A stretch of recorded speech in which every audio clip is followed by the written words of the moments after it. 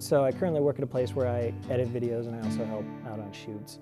And all that really comes from spin. I had an interest in making movies from fifth grade, but it wasn't until spin when I really started to learn about editing and more of the technical side of things. I really felt welcome from the first day I came, and I honestly looked at everyone like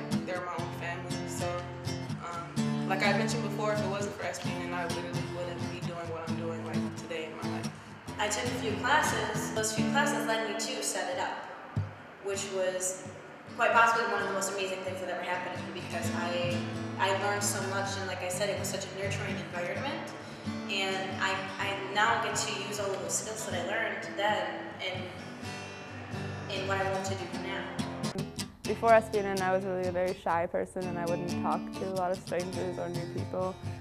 And SPNN kind of forced me out of my shell and made me go talk to random people on the street. And also just being around these people who were all great and all really nice was really helpful because it created a space where I felt like I could just be myself and have fun. It allowed me to be myself and be more open. SPNN has definitely affected every aspect of my life since I've been like 15 years old. Um, here at SPNN, this is where I decided that I wanted to make media and uh, create change in my community through music and film. SPNN has always been a second home. I think it gave me, as a teenager, a way to really express myself, to know that I could have something intangible and make it into something that was actual. I think if I didn't do it and I didn't come to SPNN, I wouldn't have got that motivation to be like, oh, this is what I want to do. Doing a volunteer program like, the, like Set It Up really made me realize that things that I'm passionate about, the things that I want to do, are quite a bit of work. And you have to be devoted to it. You have to be devoted to a team and put in the effort. Um, and that was the most valuable lesson. I'm more of a confident person. Um, I feel like I have a lot of people that I can come to if I need help with anything, whether it be like working on a, like a video project or even working on a, like a college paper. It has really allowed me to find where, what I want to do in life.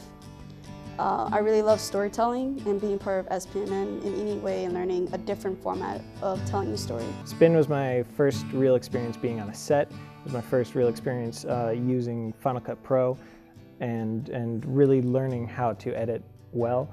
And those are things that have helped me to get where I am today. When I was younger, I didn't think about how my voice could make a difference. And I, and I think that's where Set It Up comes in and becomes a platform for youth to really express their thoughts, their concerns, and what they, what they want to see happen. It really gave teens a way to show there was positive things they were doing in the community. So I think it really impacted me gratefully.